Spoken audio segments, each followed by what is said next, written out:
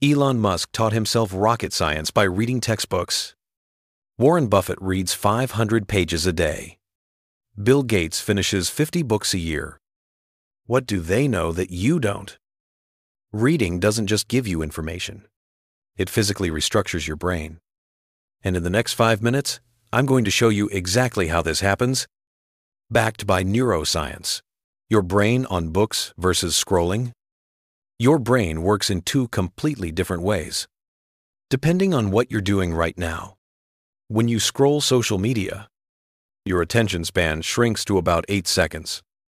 You get quick dopamine hits, but you retain almost nothing. Your brain processes information at the surface level. And the more you scroll, the harder it becomes to focus on anything that requires deep thinking. But when you sit down with a book, everything changes. MIT researchers tracked brain activity during reading sessions. They found that sustained reading increases your concentration span by 50%. Not just while you're reading, but permanently. Your prefrontal cortex lights up. This is the part of your brain responsible for critical thinking, decision making, planning, and solving complex problems. It's essentially the CEO of your brain. Every time you pick up your phone instead of a book, you're making a choice. You're choosing between rewiring your brain for distraction or rewiring it for intelligence. And the scary part? Your brain is always rewiring. The question is, in which direction?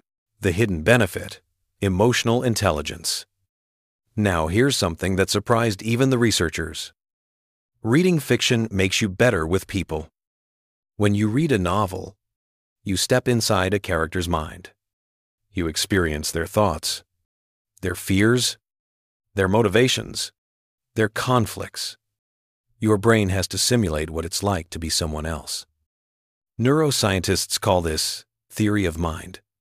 The ability to understand that other people have thoughts and feelings different from your own.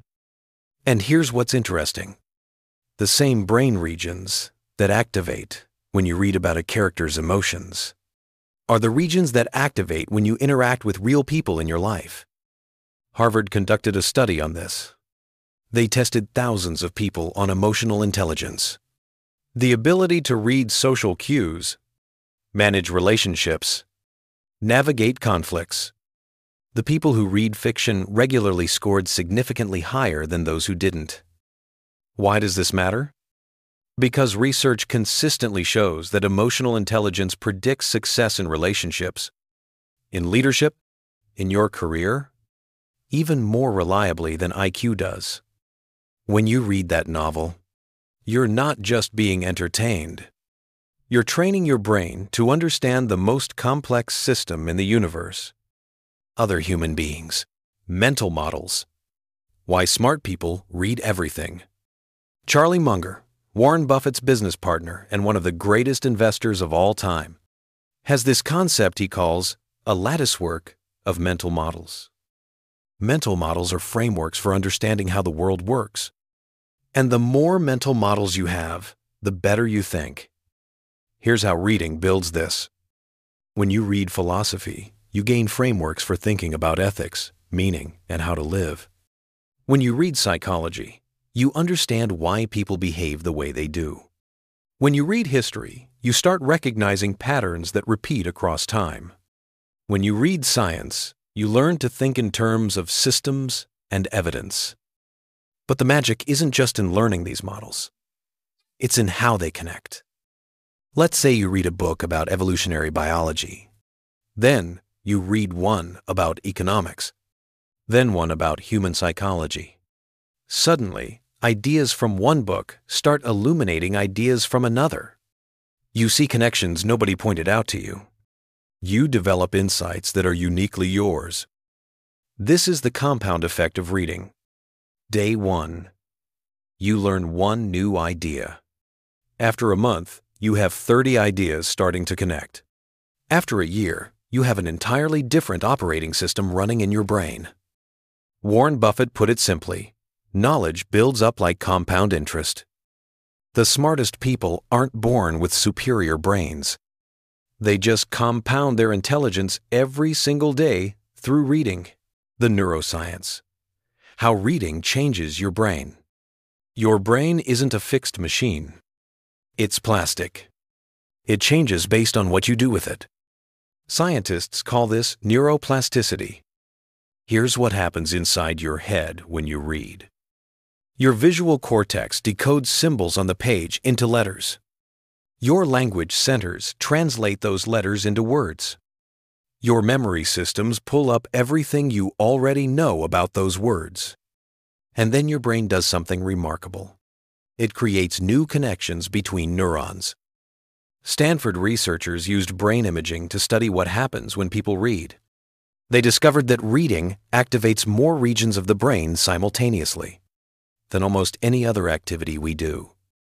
Every time you read, you're building new neural pathways.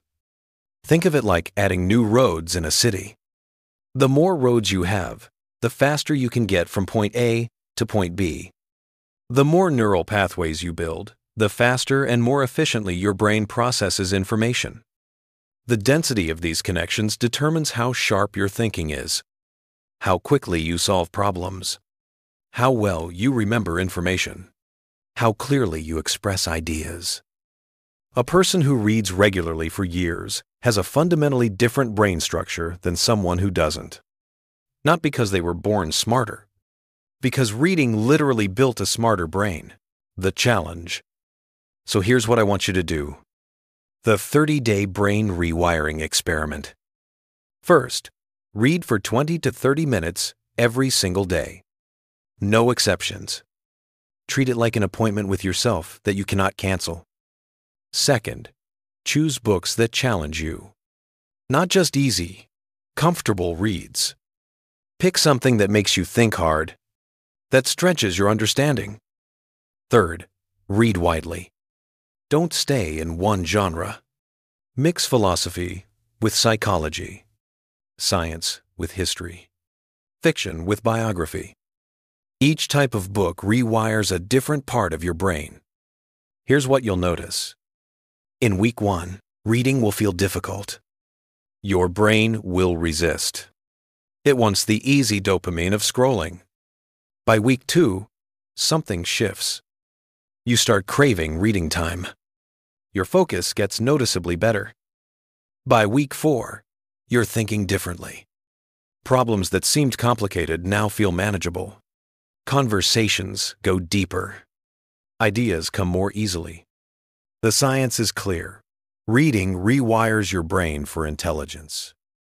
The only question left is, what are you going to do about it? Your brain is the most powerful tool you'll ever own. Every day, you decide what to build with it. So what's it going to be?